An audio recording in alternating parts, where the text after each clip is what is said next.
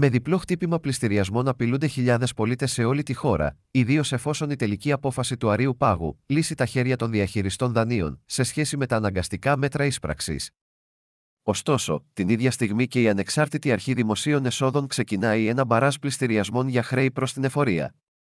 Αναφορικά με τους διαχειριστές δανείων, τα πράγματα θα είναι ιδιαίτερω αρνητικά εάν η έκδοση της απόφασης του Αρίου Πάγου είναι στη λογική της εισήγησης που έκανε και ο αντισαγγελέας του Αρίου Πάγου Πάνος Παναγιοτόπουλος. Βάσει αυτής, οι εταιρείες διαχείρισης μπορούν να χρησιμοποιούν ταυτόχρονα και τους δύο νόμους 2003 και 2015, και άρα νομιμοποιούνται να πραγματοποιούν δικαστικές ενέργειες. Πρακτικά, περί τα 700.000 ακίνητα, που αποτελούν πράγματες εξασφαλίσεις για δάνεια ύψους περίπου 45 δισεκατομμυρίων ευρώ, θα βρεθούν στο έλεος τραπεζών, φαντς και διαχειριστών δανείων. Η συντριπτική πλειονότητα των ακινήτων αυτών είναι κατοικίες διαφόρων κατηγοριών, αλλά και μικρά βιομηχανικά και βιοτεχνικά ακίνητα, εμπορικά καταστήματα και άλλα.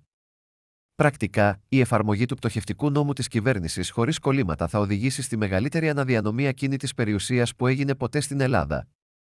Ένα ανελαίητο κυνηγητό έχει ξεκινήσει η εφορία σε οφειλέτες που χρωστούν στο δημόσιο. Με όπλο τους πληστηριασμούς, η ΑΔΕ επιχειρεί να περιορίσει τις ληξιπρόθεσμες οφειλές προς την εφορία.